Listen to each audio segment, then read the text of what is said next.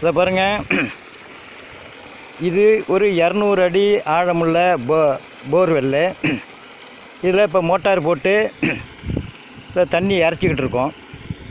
எல்லா பம்பு செட்லேயும் இந்த டெலிவரின்னு சொல்கிற இந்த இது வரைக்கும் இருக்கும். இதுக்கு இந்தாண்ட ஒரு நாலு மீட்ரு ஓஸு வேறு ஒன்றும் பெரிய செலவு இல்லைங்க. இப்போ இப்போ வாய்க்காலில் தண்ணி இறச்சிக்கிட்டு இருக்கோம். இந்த தண்ணியை மழை காலத்தில் அதிகமாக இந்த வயவெளியில் பேஞ்சு இந்த வாய்க்கால் வழியாக தான் வடியும். அந்த நேரத்தில் இந்த பைப்பை ஏ, இறக்கி வை பாலாஜி.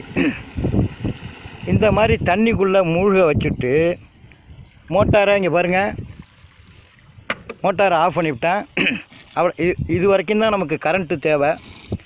இதுக்கு இந்தாண்ட இது எத்தனை நாளாக இருந்தாலும் தண்ணி பாட்டே வந்துக்கிட்டு இருந்ததுன்னா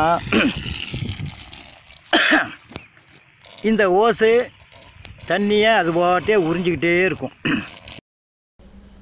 തമിഴ് മനസ്സിലാവാത്ത സുഹൃത്തുക്കൾക്ക് വേണ്ടിയിട്ട് ഈ പറഞ്ഞത് ഞാനൊന്ന് തർജ്ജമ ചെയ്തു തരാം അതായത് ഈ സുഹൃത്ത് ഉദ്ദേശിക്കുന്നത് നമ്മൾ സാധാരണഗതിയിൽ പാടത്തൊക്കെ പാടത്തും മറ്റു സ്ഥലങ്ങളിലും എല്ലാം തന്നെ മഴക്കാലങ്ങളിൽ ധാരാളം വെള്ളം കെട്ടി നിൽക്കുകയും അത് ആ, നീരാവിയായിട്ടും ആ, പുഴയിലേക്കും തോട്ടിലേക്കും ഒഴുകിപ്പോയിട്ടൊക്കെ വേസ്റ്റ് ആവുകയാണ് ആ വെള്ളത്തിനെ ആ, നമ്മൾ കുറച്ച് നേരം മോട്ടർ ഒന്ന് ഓൺ ആക്കിയതിന് ശേഷം മോട്ടറിൻ്റെ അറ്റത്ത് വരുന്ന പൈപ്പിൽ ഒരു നൈലോൺ വല കെട്ടിയിട്ട് ആ കെട്ടി നിൽക്കുന്ന വെള്ളത്തിലേക്ക് ഇതുപോലെ പൈപ്പ് താഴ്ത്തി വെക്കുകയാണെങ്കിൽ എന്നിട്ട് മോട്ടോർ ഓഫാക്കി കഴിഞ്ഞാൽ വൈദ്യുതിയുടെ ചിലവില്ലാതെ തന്നെ നമുക്ക് കുഴൽക്കിണറിലേക്ക് ഈ വെള്ളത്തിനെ താഴ്ത്താനും അത് ഗ്രൗണ്ട് വാട്ടർ അതായത് നമ്മുടെ ഭൂഗർഭ ജലത്തിനെ പോഷിപ്പിക്കാനും സഹായിക്കും എന്നുള്ളതാണ് അദ്ദേഹം ഉദ്ദേശിക്കുന്നത്.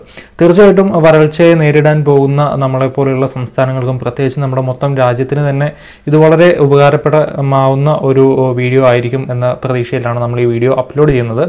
ഈ ചാനൽ ഇതുവരെ സബ്സ്ക്രൈബ് ചെയ്യാത്ത സുഹൃത്തുക്കൾ ഉണ്ടെങ്കിൽ ദയവായിട്ട് സബ്സ്ക്രൈബ് ചെയ്യുക. ഒപ്പം തന്നെയുള്ള ബെല്ലൈക്കൻ കൂടെ എനേബിൾ ചെയ്യുക. വീഡിയോ തുടർന്ന് കാണാൻ മറക്കാതിരിക്കുക.